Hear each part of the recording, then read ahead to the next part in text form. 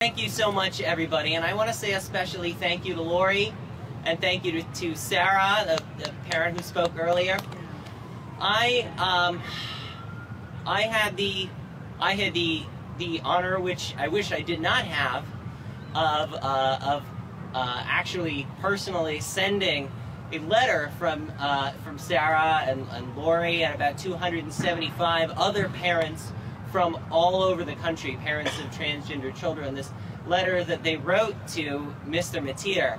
Um, I just looked up his uh, email address at his current job and sent it to him, and I said very nicely I said, you know, you're Mr. Mateer. I'd like you to know this big group of parents, you know, wanted to share these thoughts with you, and I hope you'll take the time to read it and consider its content. I didn't get a response.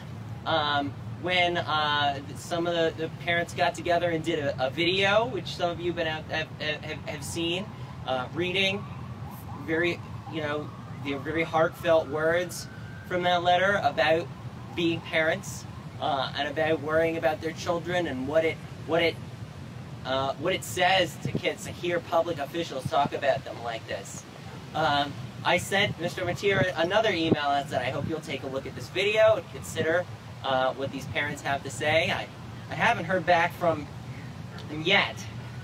Um, I haven't heard back from the, from the members of the Senate Judiciary Committee either about this. What do they think about talking about our kids like this? Uh, we've we've uh, we've all, I think, heard from from the parents and we should really, really sit with that. You know, we're not just talking about a few stray comments. Um, uh, we're not just talking about calling kids Satan's plan. Think about what that does to kids. Um, we're not just talking about saying, you know, bragging, we discriminate all right. Another, another of Mr. Mateer's greatest hits. We're talking uh, about a man along with several other of these judicial nominees who are being quickly pushed through the Senate, who have made a big part of their career on uh, on vilifying and trying to to publicly shame, demonize, and humiliate a group of people because of who they are.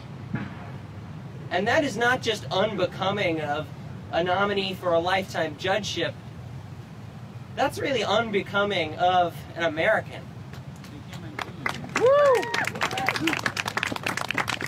Let alone of any kind of public official we're going to give the grave responsibility of being a federal judge. And so I'm calling on the members of the Senate Judiciary Committee and the members of the Senate as a whole to do their job and reject this nominee. He is not just controversial, he is unfit. Woo! And we deserve better. We all deserve nominees who are qualified to do this very important, potentially lifetime job, and who we know will actually be fair. And it is not often in the history of this country that we see nominees, let alone a bunch of them, who are so manifestly unfit as Mr. Mateer. This should not be a difficult call. I don't think that there is, there certainly shouldn't be a member of this body who wants to own comments like these, who wants to own a record like these. This is the definition of a lack of judicial temperament.